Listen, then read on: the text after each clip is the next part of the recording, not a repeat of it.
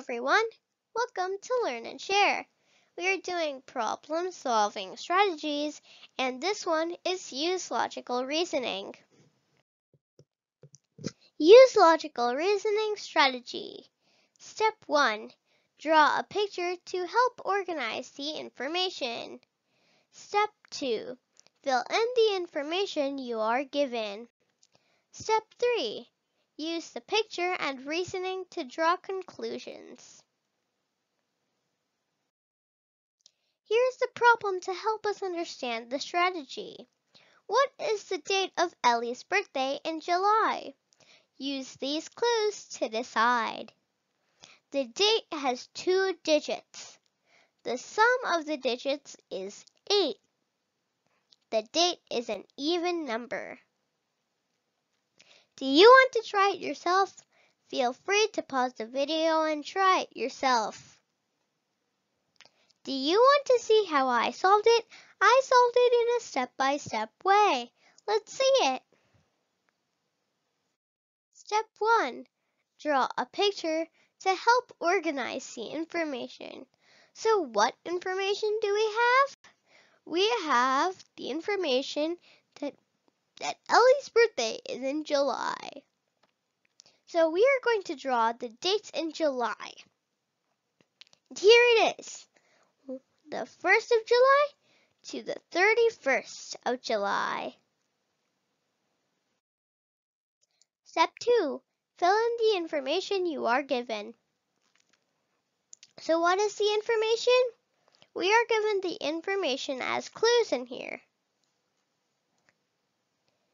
And here's our table again. Clue 1. The date has two digits. Nope, one doesn't have it. So we're going to cross out each of the one digit numbers. And numbers 1 through 9 are crossed out. So numbers 10 to 31 are remaining.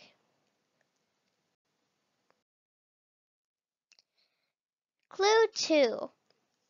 The sum of the digits is 8. 1 plus 0 is 1. 1 plus 1 is 2. Hmm, let's see. Aha! 1 plus 7 is 8. 1 plus 8 is 9. Um, aha! 2 plus 6 is 8. Nothing else. Clue 3. The date is an even number. Is 17 an even number? No. So 26 is our answer. We've highlighted here. Elly's birthday is on July 26th.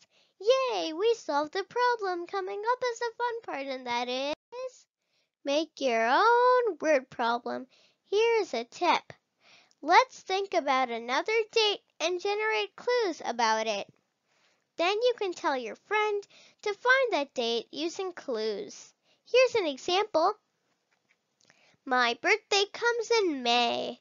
My birth date has two digits. The sum and difference of the digits is the same.